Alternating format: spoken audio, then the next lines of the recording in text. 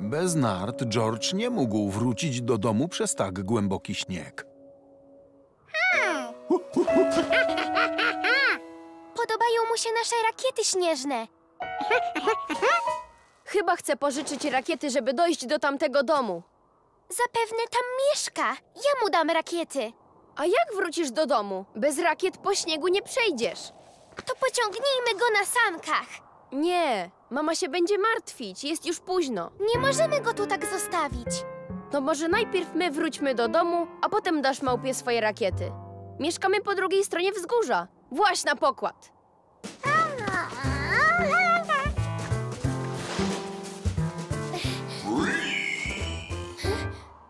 Znowu słychać ten dziwny dźwięk.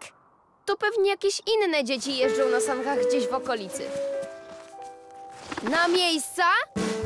Gotowi? Start!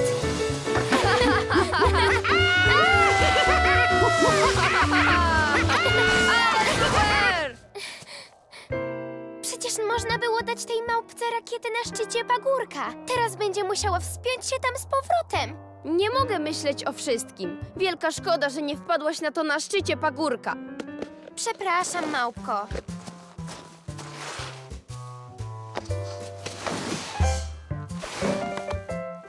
Na razie! Cześć, małpko!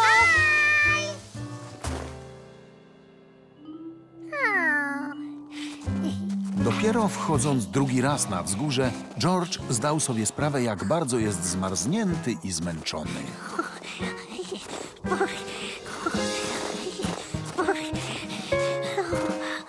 Sił dodawała mu tylko myśl o pysznym kakao.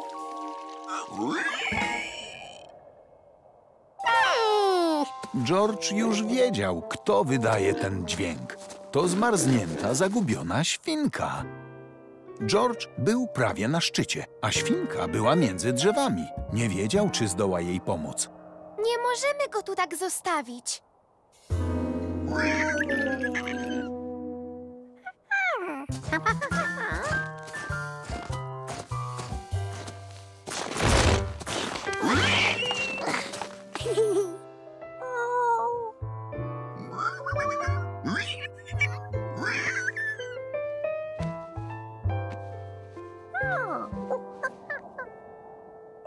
George zastanawiał się, jak świnka mogła się zapuścić na wzgórze. A co ważniejsze, jak zabierze teraz świnkę na dół?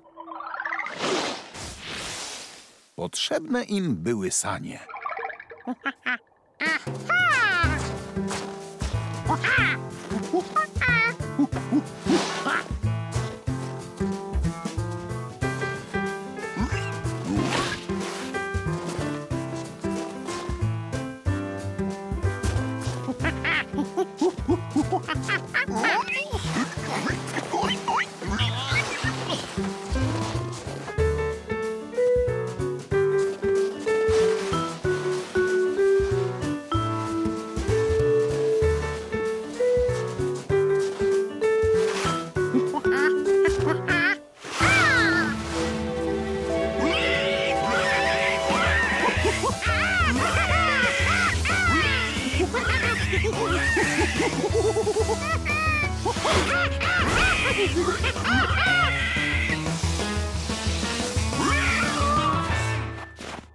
Wszędzie rozpoznałbym ten kwik. To mały Mike.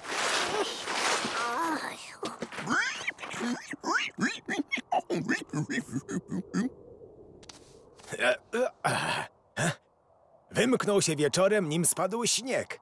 Mike nigdy wcześniej nie widział śniegu. Musiał być zupełnie zdezorientowany. Dzięki, George. Zastanawiałem się, czemu tak długo nie wracasz. W domu czeka na ciebie filiżanka kakao. No to na razie. Dobra, do widzenia.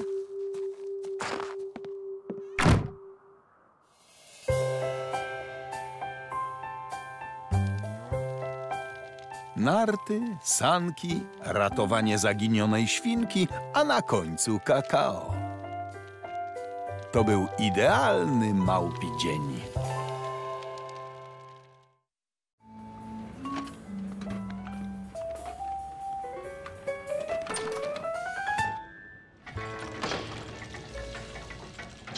George pomyślał, że gdy obejrzy wielki zegar, będzie wiedział, jak zmontować mały.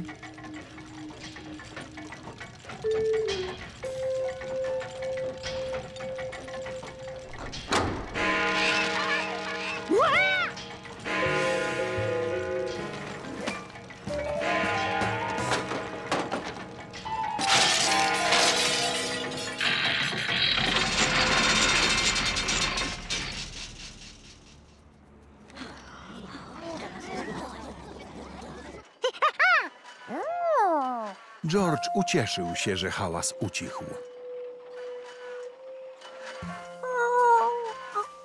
Ale może lepiej było wrócić do domu. Ten zegar zawsze działał, zawsze. Zegar na bibliotece stanął. No to w drogę. Czekaj stu, nie znamy się na zegarach. Jesteśmy strażakami, coś wymyślimy.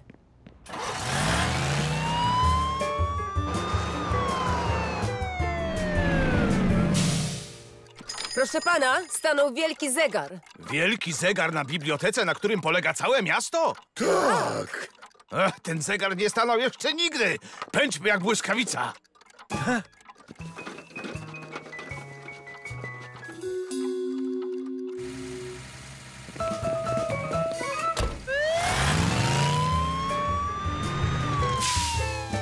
Dwójka, zgłoś się. Dwójka, zgłoś się. Dwójka, zgłoszenie w sprawie zegara.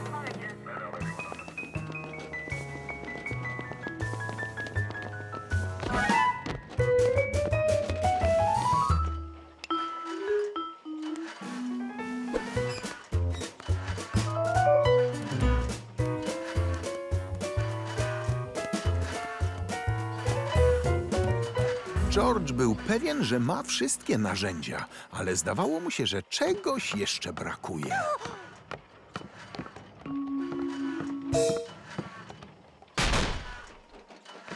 No dobrze, dziękuję. A teraz proszę wyjść. Muszę posłuchać.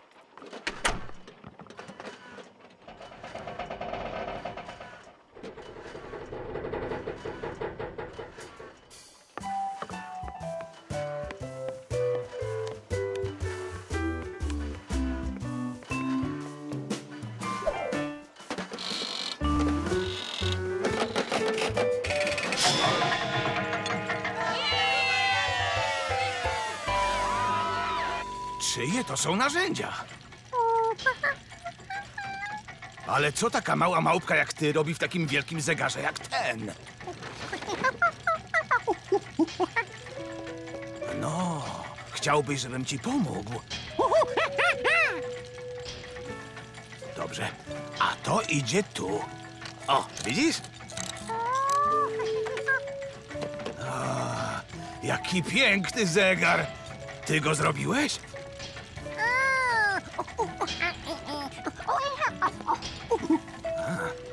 Świetnie znam się na zegarach, ale zupełnie nie znam się na małpim języku.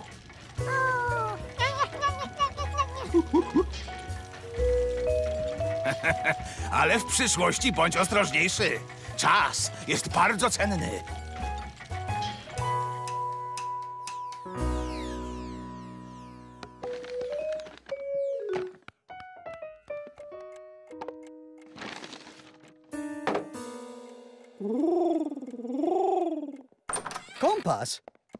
Mówiliśmy o sprowadzaniu gołębi do budynków, George?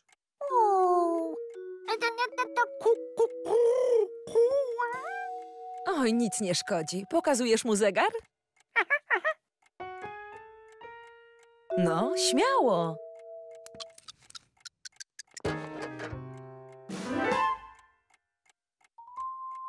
George, jak ta żelazna skrzynka na narzędzia się tak...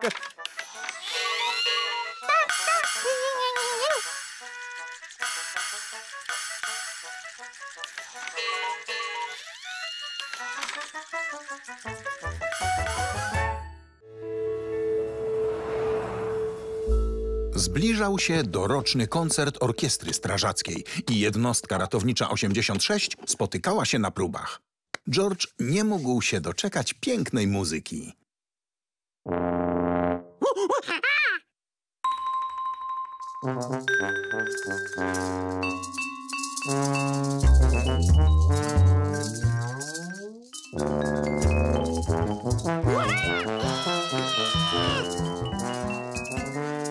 Nie martw się, George, zagramy lepiej. To tylko rozgrzewka.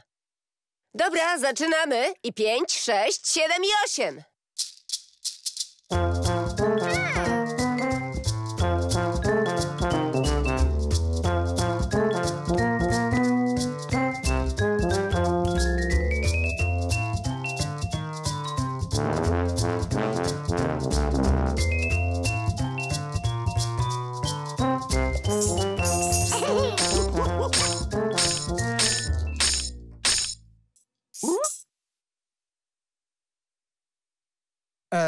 George, to próba dla członków orkiestry.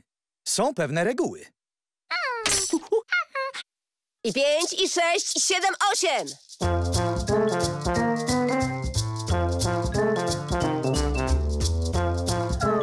Jeśli nie można grać w orkiestrze, trzeba założyć własną. Ale trzeba mieć na czym grać.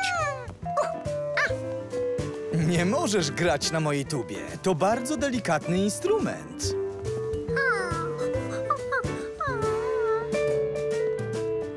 I jak tam próba? Świetnie. Musi pan przyjść na koncert. Klucze portiera brzmiały jak tamburino. Zrobię obiad.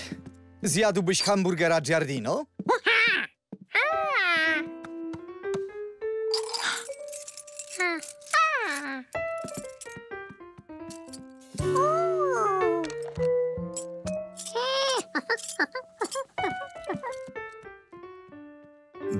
Musiał jakoś spiąć wszystkie klucze, żeby móc na nich grać.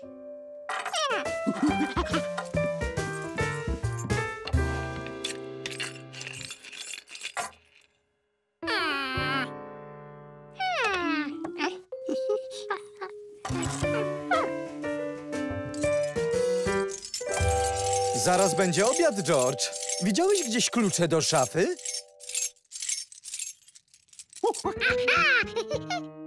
Mam pudełko starych kluczy. Dam ci je do zabawy, jeśli chcesz.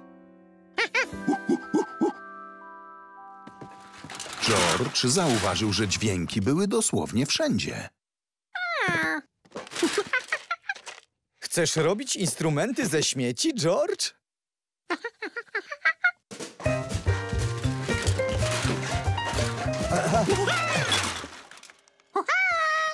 Masz już ich dosyć dla całej orkiestry.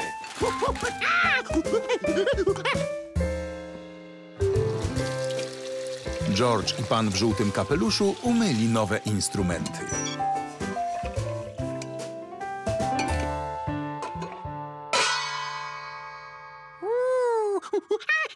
Nie ma mowy. To są pokrywki od moich garnków.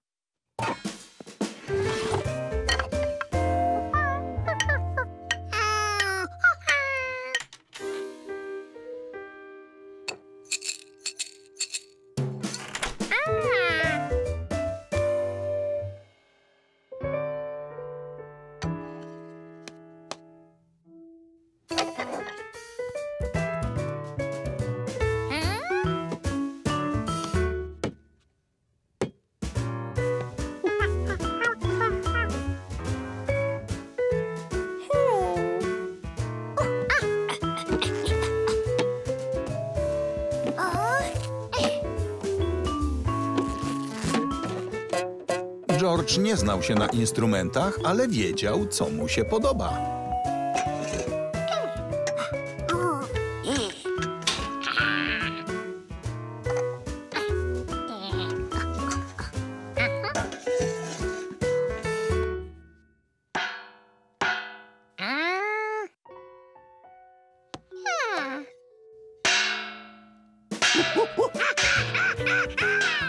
To nie są potwory.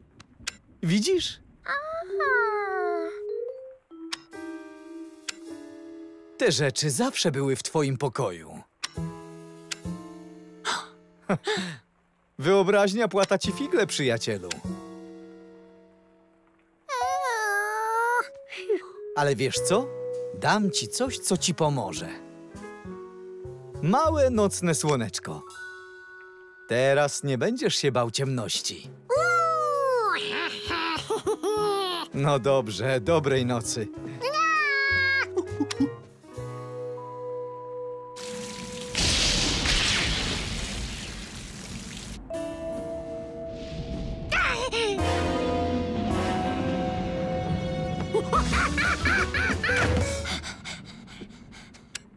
Złe wieści, George. Zostaliśmy bez światła. Ale nie martw się, nie musimy siedzieć po ciemku. Na szczęście mam na półce sprawną latarkę. A to ciekawe, zawsze ją trzymałem w tej szafie. Wiem, co ci pomoże przetrwać burzę. Chodź ze mną na dół. Zrobimy sobie biwak. Tak, George? Biwak w salonie byłby super.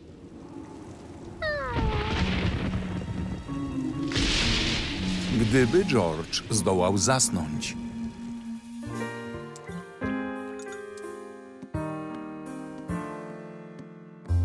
Nie, ciągle nie mamy światła. Tak, i nie będziemy go mieli przez calutkie cztery dni.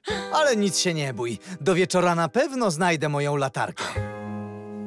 George wiedział, że to on musi ją znaleźć, bo inaczej ze spania nici. Jednak nie miał ochoty wracać sam jeden do jaskini.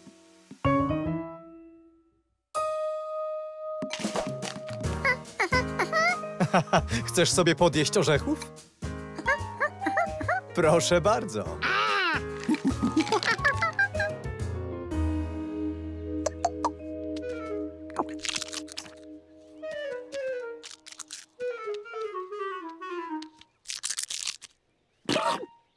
George doprowadził skoczka do jaskini. Teraz musiał go skłonić do wejścia do środka.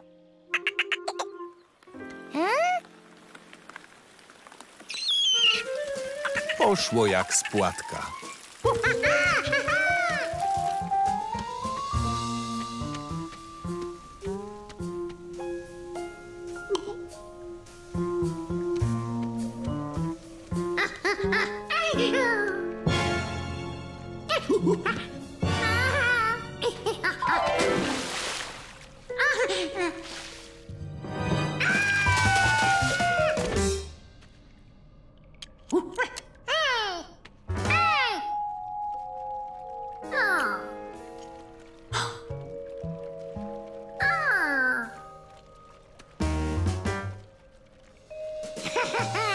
Pan w żółtym kapeluszu miał rację. Straszne potwory mieszkały w wyobraźni George'a.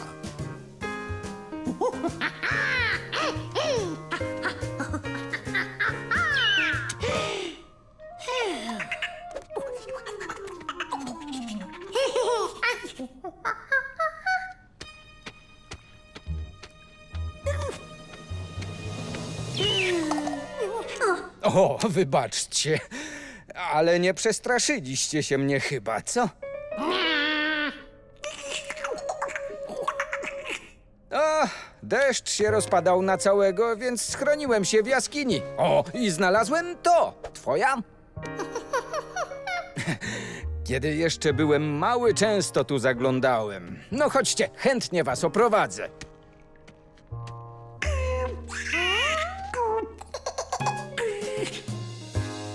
Tego wieczora światło wróciło. Ale George wolał siedzieć przy świeczce.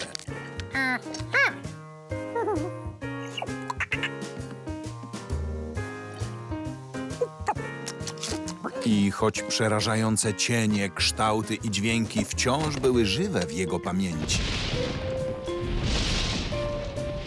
nigdy nie czuł się tak bezpiecznie jak teraz, ciemności.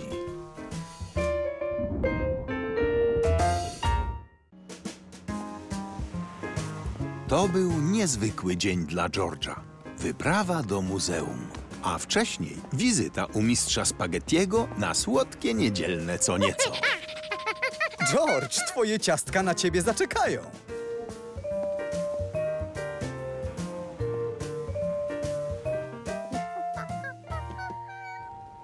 Eklerki, brązowa, chrupiąca rurka z puszystym kremem. Widzisz? Dwa w sam raz dla nas. Eee,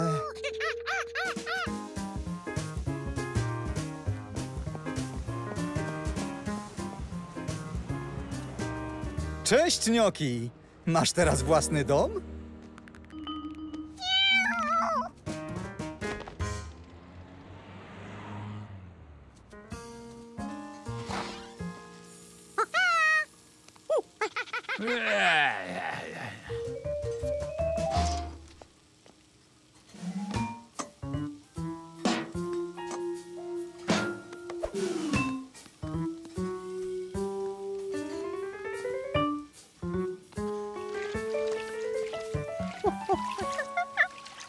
Ktoś tu przyszedł na eklerki? Właśnie sprzedałam dwa ostatnie. Niestety. Nie będę dziś robił więcej słodkości. Jestem zmartwiony. Co pana trapi? Brr. Mio caro gnocchi. Zakrada się do salonu dla gości i rwie pazurami wszystkie obicia. To istne disastro. Proszę, to jest jej robota.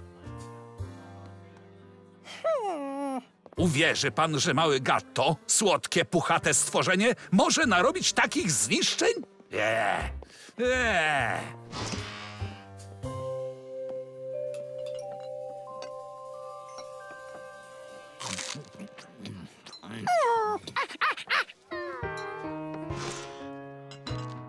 Ehe. Od dzisiaj Gnocchi ma zakaz wstępu do ristorante. Widzieliśmy budę, którą pan dla niej zrobił. Jest bardzo ładna. Grację! Chcę dobudować jej drugie pięterko. E, e. O, to znowu ona. Chce się dostać do nas do środka. Okropnie się czuję. Chce się dostać do środka, bo wie, że ty jej na to nie pozwalasz. Och, typowe dla kota. Najmocniej was przepraszam. Obawiam się, że nie będzie eklerek, dopóki ten problem się nie rozwiąże. Hola, hola! A ty dokąd?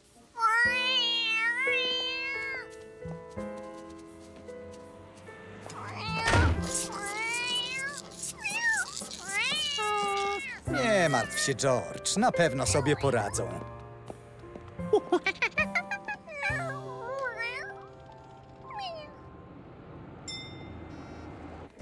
W muzeum George zupełnie się nie mógł skoncentrować.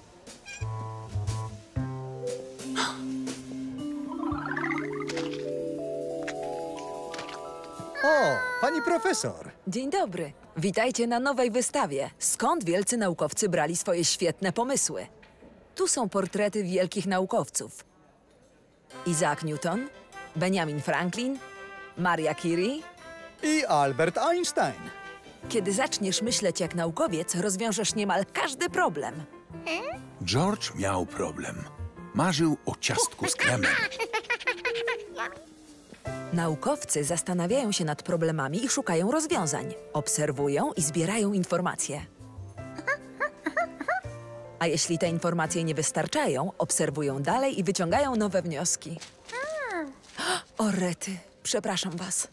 Kolego, ale co ty tam robisz?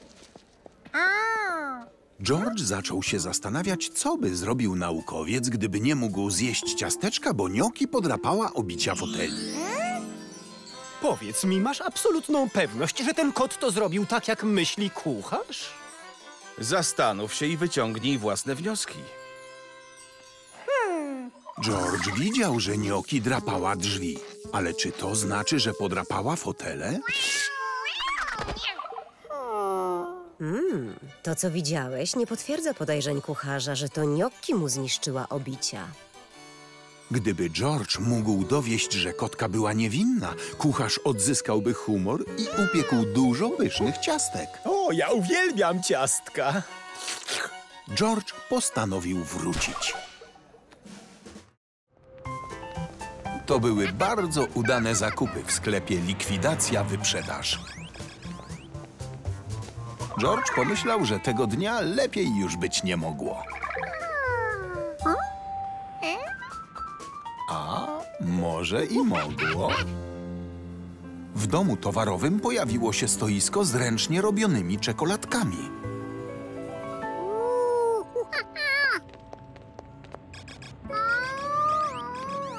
O, nie wiem jak wy, ale ja na pewno nie przejdę obojętnie koło niebieskich czekoladek. Ale nie mogę z tym wejść do sklepu.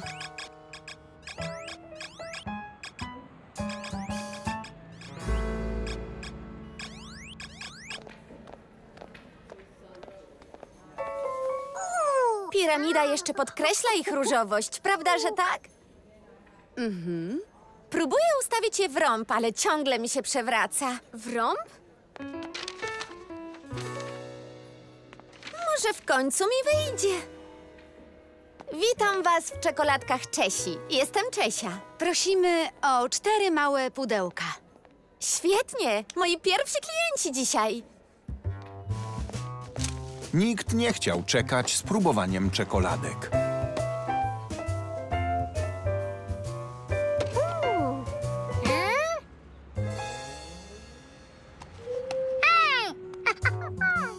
Hej, w pudełku George'a są cztery, nie sześć. Okantowali cię. Możecie wziąć dwie moje. Mnie wystarczy, że spróbuję jednej. To dasz mi pozostałe trzy? George uważał, że to nie w porządku, żeby ktoś się poświęcał. Było tylko jedno rozwiązanie.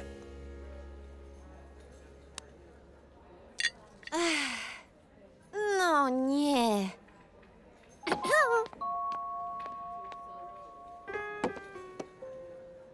O, chcesz kupić jeszcze dwie? Brakowało dwóch? Wiedzieć, że ich nie zjadłeś?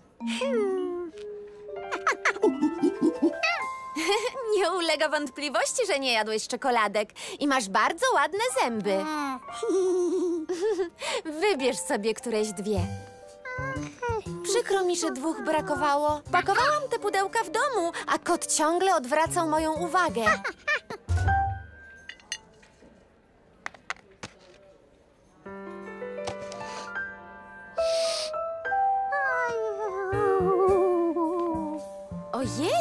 Muszę przynieść więcej towaru, ale nie mogę stąd odejść. Zaraz, popilnowałbyś mi stoiska? Wiem już, że jesteś bardzo uczciwy, a dziś tak prawie nie ma klientów. Musisz tylko popilnować czekoladek. Bardzo ci dziękuję.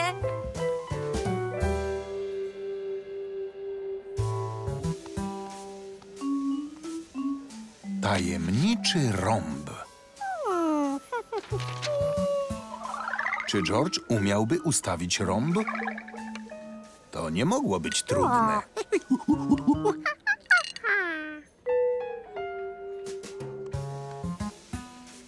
Dlaczego inne kształty się trzymały?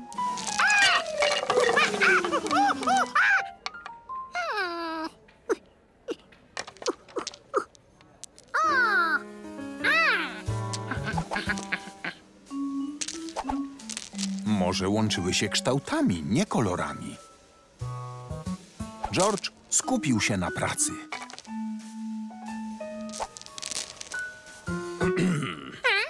George nie spodziewał się klientów. Chciałbym kupić czekoladki dla żony. Macie miętowe?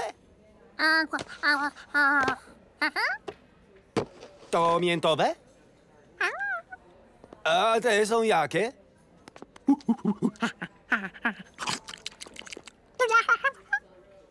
E, ta nie wygląda na miętową. Druga niebieska miała to samo nadzienie. Nie była miętowa. A nie masz gdzieś może spisu smaków?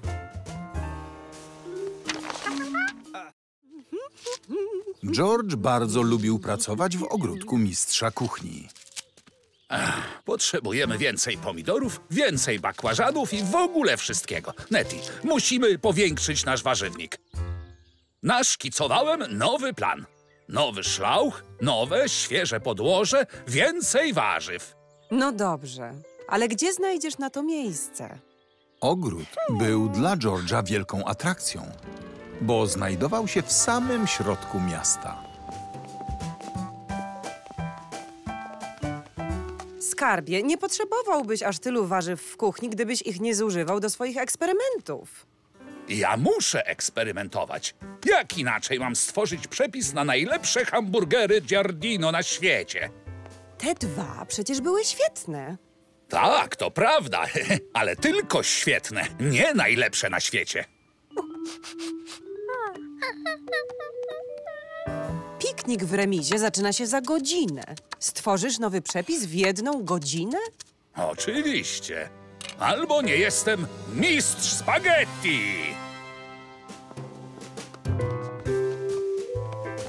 No, to czego by tu jeszcze dodać? Cebulki? Czosnku? Cebulki. Nie, nie, nie, nie. Czosnku.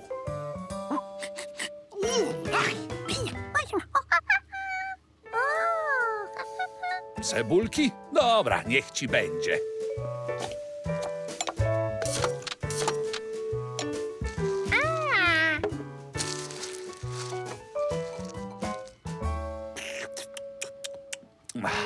Scusito. O, Giorgio, dzięki tobie znalazłem idealne proporcje. O. W tym notesie są moje przepisy. Zapisuję, jak powstaje każde danie, żeby potem móc je robić tak samo za każdym razem. Zadowolony z przepisu, mistrz spaghetti przygotował pierwszego hamburgera. Zaraz, zapomniałem dodać pieprzu. Gdzie jest mój młynek? Nettie, gotowe? Powiedzcie, czy wam smakuje? Tylko szczerze. Wszystkie składniki moich hamburgerów Giardino pochodzą z naszego warzywnika, Giorgio. Dalej, śmiało! Mmm, si, doskonały hamburger. chyba, chyba nie wydajecie tych odgłosów i mlaśnięć z uprzejmości, prawda? Jestem twoją żoną, a to jest małpka. Zawsze będziemy z tobą szczerzy.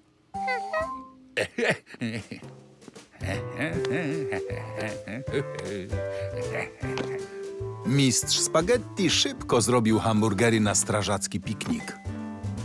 Zanieś je na tył mojej ciężarówki, a ja pójdę się zająć grillem.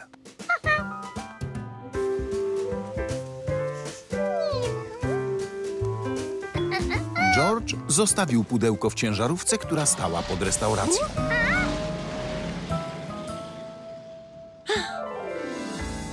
Nie wiedział, że obok stała druga ciężarówka. Cześć! Hej! Widziałeś tę małą małpkę? Małpki są takie sympatyczne.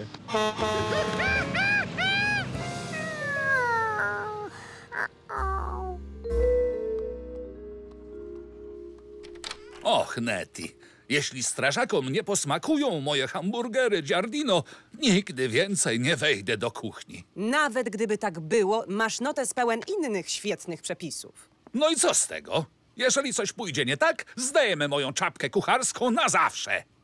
Dajże spokój, to świetne hamburgery. George nie mógł powiedzieć kucharzowi prawdy. A może wcale nie musiał. Jeśli w tym notesie jest przepis na hamburgery, George może się nim posłużyć i zrobić nowe hamburgery dla strażaków.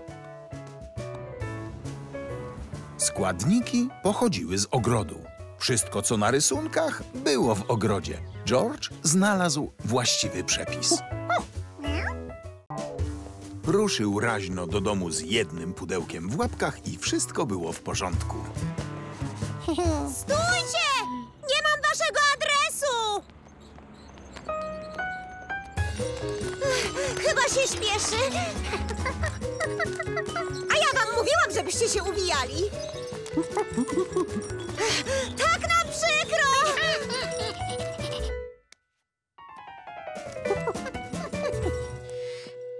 Zostawiam cię na straży, nie wpuszczaj obcych.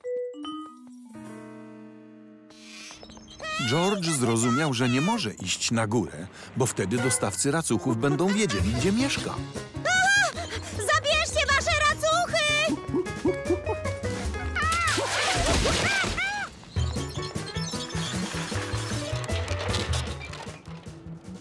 I tym sposobem George poszedł do domu z tuzinem racuchów. Nie widzę małpy ani psa.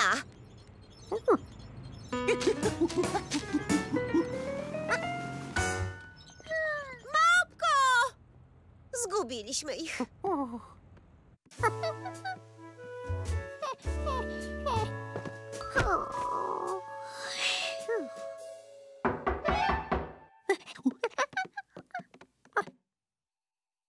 Portier!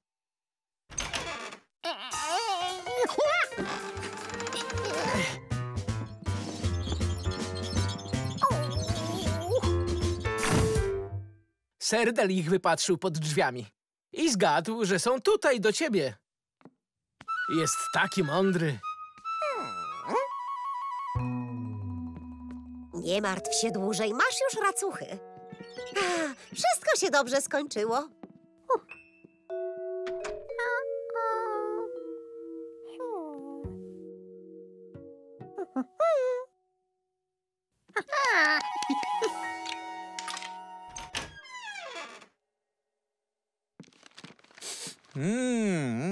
Rety, te racuchy tak ładnie pachną, że aż szkoda, że nie kupiłeś więcej.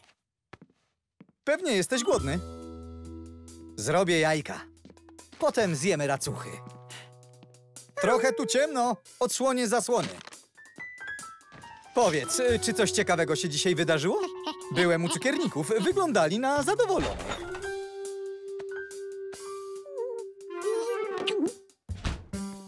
Zrobię ci jajecznicę. Albo sadzone. Hmm, nie zauważyłem, że ta patelnia ma taką wygodną rączkę. Ale ostrożnie! Czekaj no chwilę. Czy ja ci kupiłem ten samochodzik?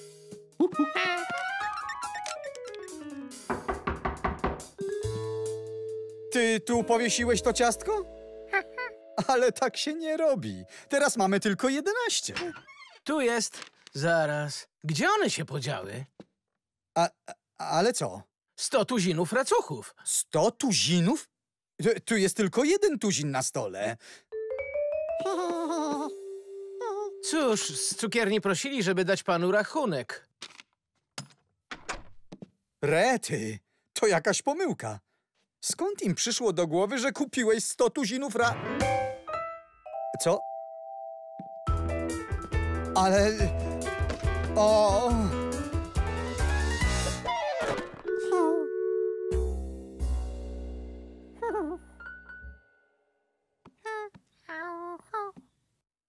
Dlaczego, George?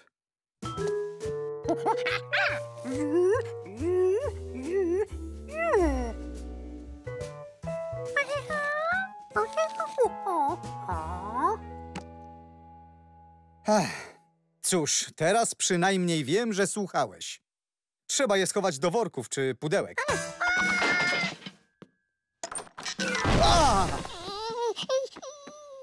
A! Co my teraz zrobimy z tym wszystkim?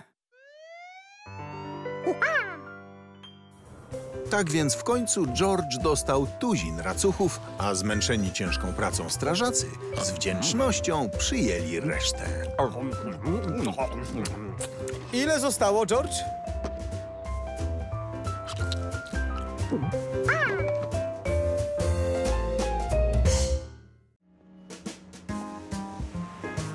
To był niezwykły dzień dla George'a.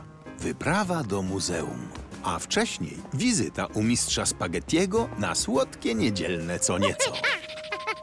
George, twoje ciastka na ciebie zaczekają.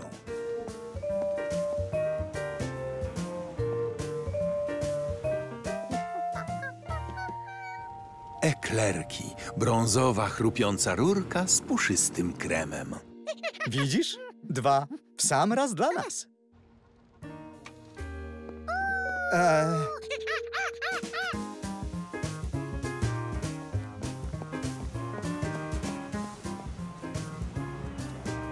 Cześć, Nioki! Masz teraz własny dom?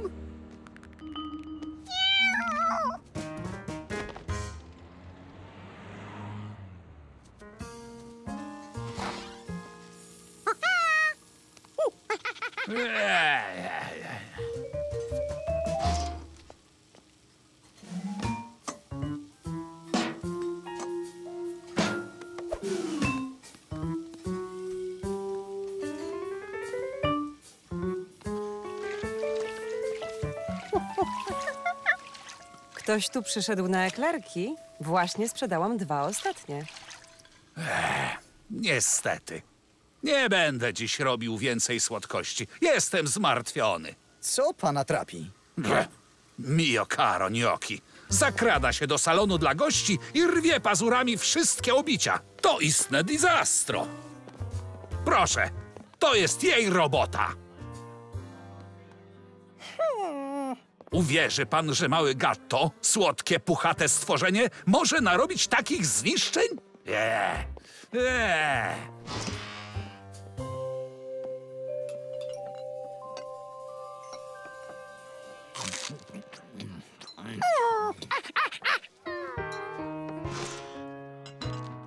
Ehe. Od dzisiaj gnocchi ma zakaz wstępu do ristorante. Widzieliśmy budę, którą pan dla niej zrobił. Jest bardzo ładna. Grację! Chcę dobudować jej drugie pięterko. E, e. O, to znowu ona. Chce się dostać do nas do środka. Okropnie się czuje. Chce się dostać do środka, bo wie, że ty jej na to nie pozwalasz. Och, typowe dla kota. Najmocniej was przepraszam. Obawiam się, że nie będzie eklerek, dopóki ten problem się nie rozwiąże. Hola, hola! A ty dokąd?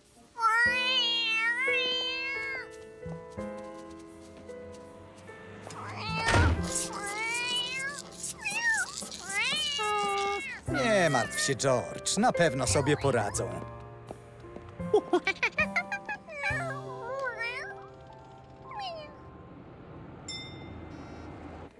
W muzeum George zupełnie się nie mógł skoncentrować.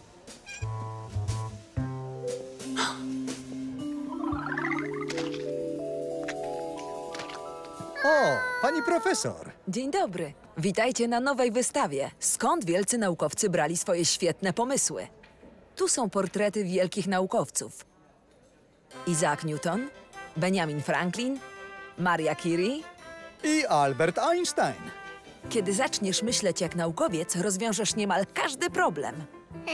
George miał problem. Marzył o ciastku z kremem. Naukowcy zastanawiają się nad problemami i szukają rozwiązań. Obserwują i zbierają informacje. A jeśli te informacje nie wystarczają, obserwują dalej i wyciągają nowe wnioski. O rety, przepraszam was. Kolego, ale co ty tam robisz?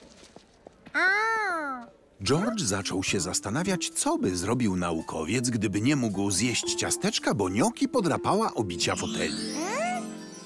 Powiedz mi, masz absolutną pewność, że ten kot to zrobił tak, jak myśli kucharz? Zastanów się i wyciągnij własne wnioski.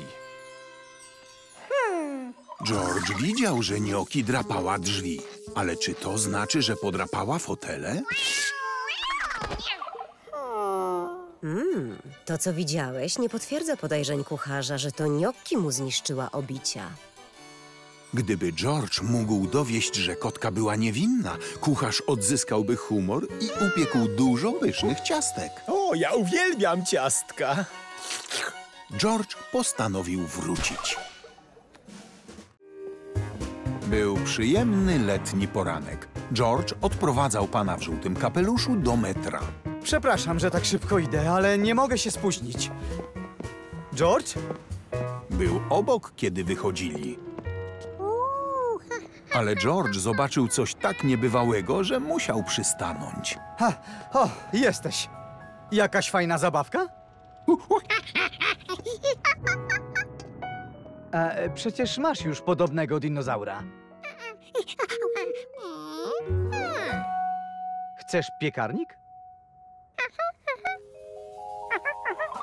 George nie miał jeszcze zabawki, która robi torty.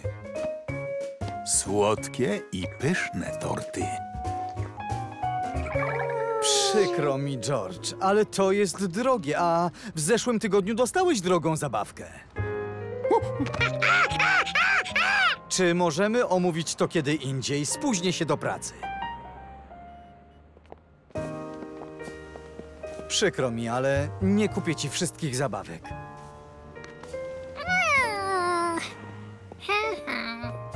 I bądź grzeczną małpką.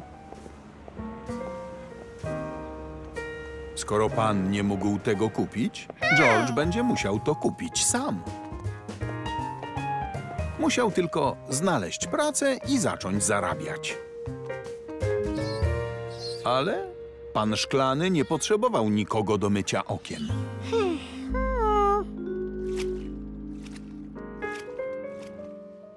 Mistrz Spaghetti nie potrzebował pomocy w zmywaniu.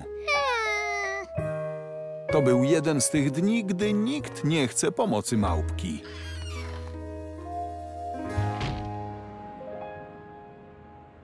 Nowa letnia witryna naprawdę przyciągnie klientów, tato. Tu będzie palma.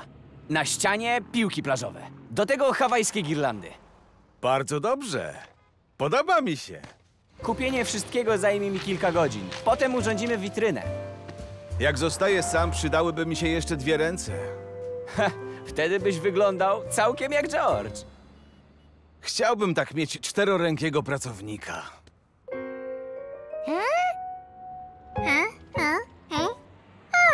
Czteroręki pracownik? Wygląda na to, że ktoś potrzebuje małpy. Pomoc małpy będzie tak przydatna, że George pewnie zarobi na piekarnik w jeden dzień.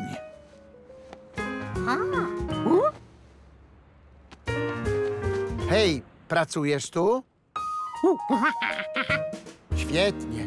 Muszę wybrać banany. Pomożesz mi? Muszą być bardzo słodkie. Piekę dla mamy ciasto z kremem bananowym. George znał jeden sposób na znalezienie najsłodszych bananów. Te banany powinny leżeć pod ladą, nie na wierzchu. A może te banany za tobą? Nie te banany przed tobą, te z tyłu.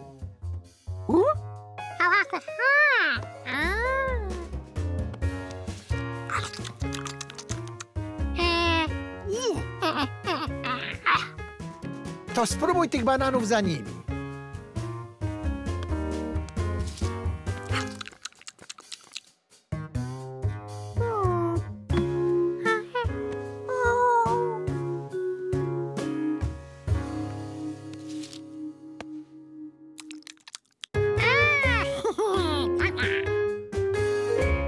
Dzięki. W żadnym sklepie nie spotkałem się jeszcze z tak dobrą obsługą.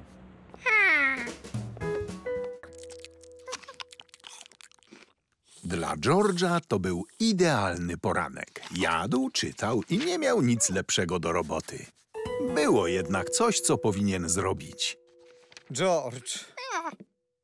Chyba wczoraj obiecałeś, że posprzątasz pokój. Nie możesz zostawiać zabawek na wierzchu. Ktoś sobie coś zrobi. A, a, a, a, a. Ech. Uff. Miałem szczęście, że tu jest ściana. No, proszę, posprzątaj. Kiedy wrócę z pracy, spędzimy wieczór w ładnym, posprzątanym salonie. Dobra?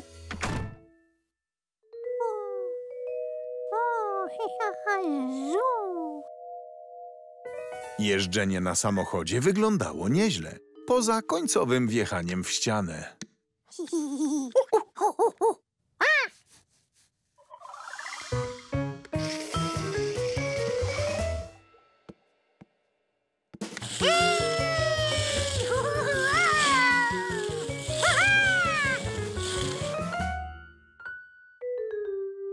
Na jednym było świetnie. To jak dopiero będzie na dwóch? George musiał komuś pokazać swoje samochodobuty.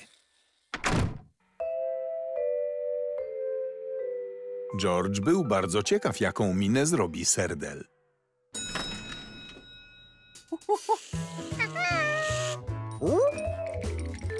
Nie takiej miny się spodziewał.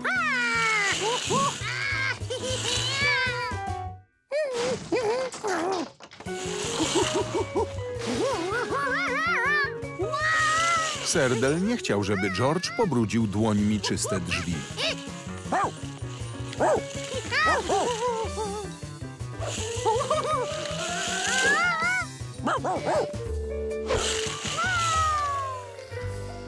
George nie umiał zawrócić do domu.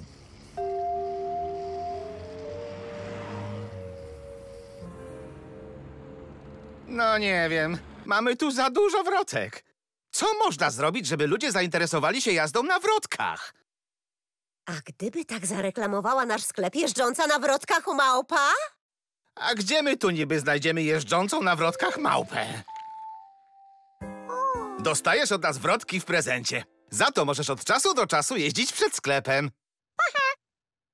Mm, lepiej daj mu jeszcze drugą parę. Ma cztery nogi. Myślałem, że cztery ręce, ale zgoda. Dam mu dwie pary. Dobra, no to zobaczmy, co potrafisz.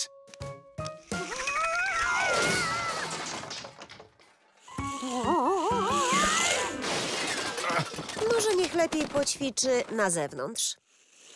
Tak, mam cię. Poćwicz sobie troszeczkę, kolego. Potem wróć. Dobra. Myślisz, że jeszcze go zobaczymy? Jeśli nie zaufasz małpie, to komu zaufasz? George'owi spodobały się wrotki. Tylko do czego służy to czarne?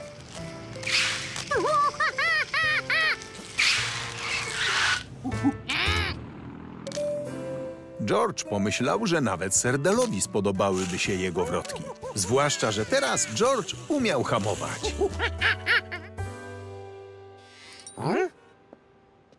O, o, o, pozwoli pani, że pomogę. Serdel, portiernia jest twoja.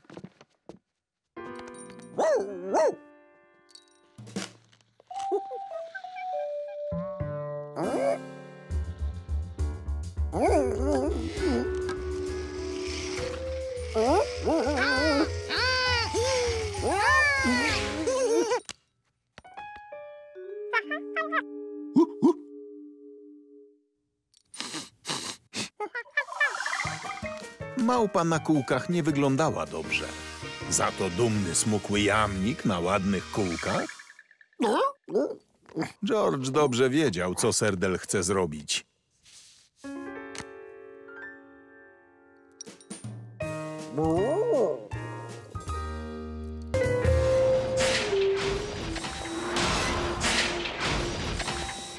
Dzień zaczął się od łup, łup, łup. Słyszało to wiele osób, ale tylko jedna była tak ciekawska, że musiała sprawdzić, co się dzieje.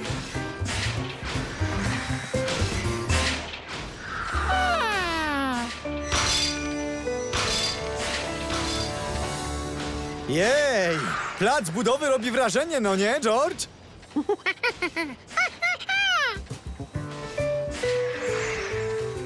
Tak to będzie wyglądało, kiedy skończą. Kapelusz!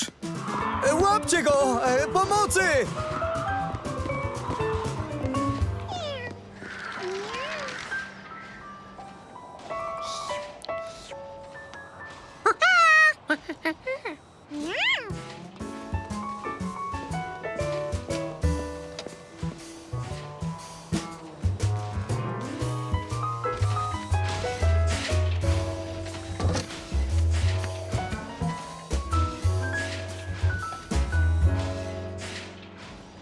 Musiały być jakieś ważne skrzynki. Metalowe na zewnątrz, pysznie kanapkowe wewnątrz. Ale na budowie było tyle wspaniałych maszyn, że George nie tracił czasu na jedzenie.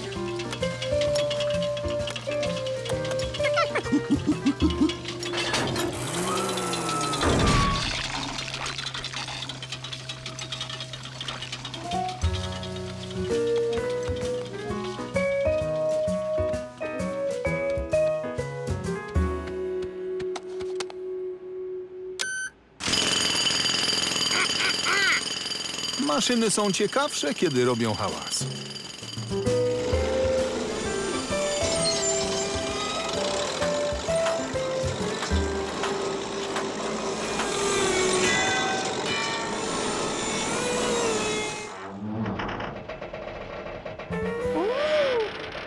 Słyszycie?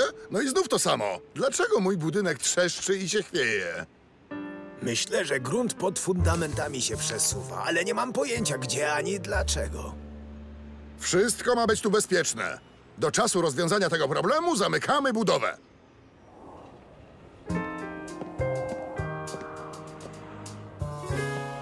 George!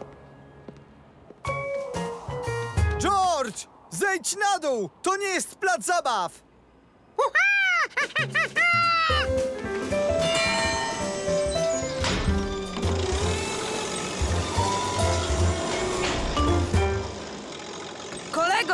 to pańska małpka?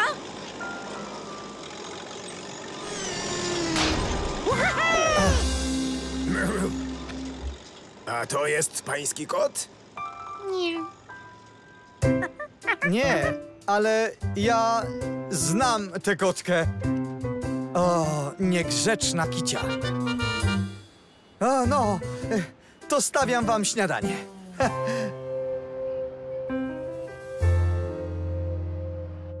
Następnego ranka pan w żółtym kapeluszu zajmował się własną budową.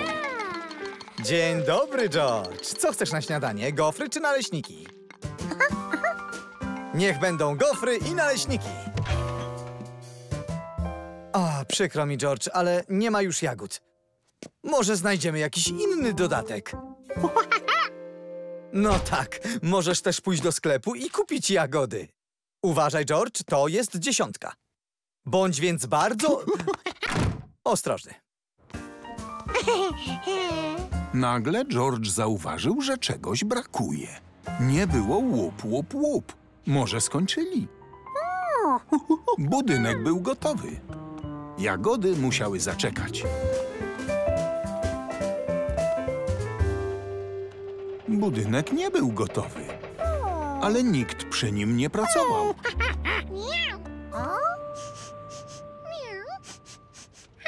Może to był dobry moment, żeby wszystko obejrzeć, nikomu nie przeszkadzając.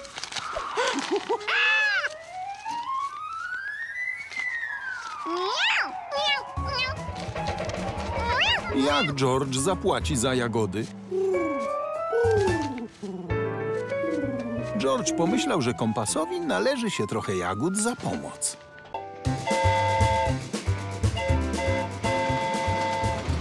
Ulubioną zabawką George'a, kiedy był na wsi, była kolejka.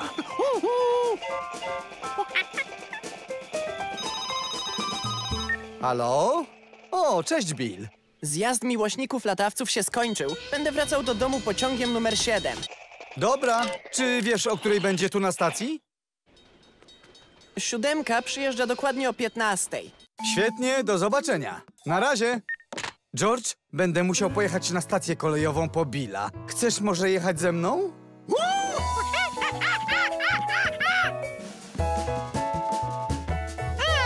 Na razie jest jeszcze za wcześnie. Zostało parę dobrych godzin. Zaraz ci to wytłumaczę. To jest pociąg, w który wsiądzie Bill. A to ty i ja. Nawet jeśli będziemy na stacji wcześniej, będziemy musieli czekać, aż pociąg Billa dojedzie stąd, tutaj.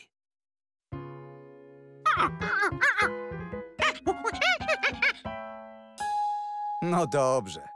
Pojedziemy na stację wcześniej, żebyś ją sobie obejrzał.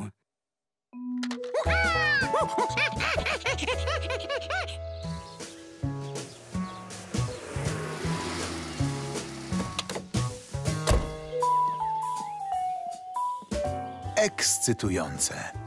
George jeszcze nigdy nie był na stacji kolejowej. Dzień dobry, jak się miewacie? Wybieracie się na wycieczkę? Ja zawsze wolę wypłynąć łódeczką. My nigdzie nie jedziemy. George chciał popatrzeć na pociągi.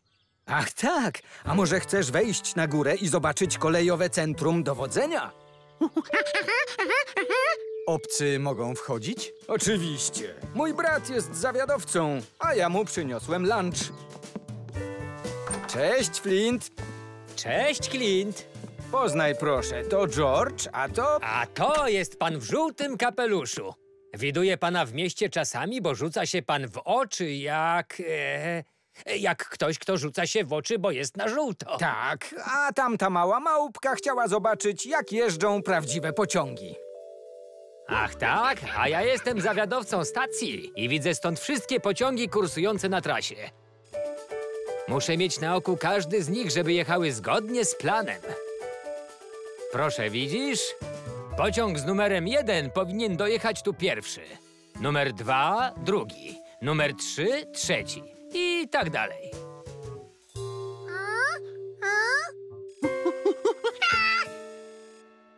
Dokładnie. Muszę dopilnować, żeby pociąg numer jeden wyprzedził dwójkę. Numer dwa, przerzucam cię na lewy tor, żeby jedynka mogła przejechać. Dobrze, zrozumiałem.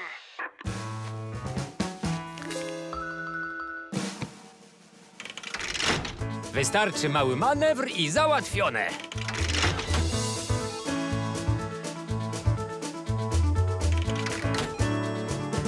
George pilnie obserwował pracę pana zawiadowcy Flinta. Teraz jedynka pierwsza przyjedzie na stację. Widziałeś? Chodź za mną. A oto jedynka. Jest tu na czas. Teraz już wszystko wiesz i możesz zawiadywać stacją. Zjemy coś?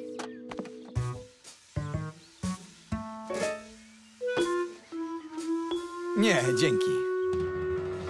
Na wielką kolej północną robisz ze mnie balona? O, a ciebie co znowu ugryzło? O co ci chodzi? Twoja jest większa. Moja jest mniejsza po brzegach, jak... E, jak coś, co jest mniejsze po brzegach. Przeciąłem każdą na pół, a połówka to połówka. Zaraz zrobię ci nową i sam zobaczysz, że się mylisz jak stąd do kolejnej stacji. Będzie pan sędzią dla porządku. E, nie powinien pan pilnować porządku na torach? Niech się pan nie martwi, zawsze jem lunch na dworze. Gdyby coś się wydarzyło, odezwie się ten dzwonek. George może zostać. Tam nie ma czego zepsuć. Pamiętaj, żebyś mi był grzeczny.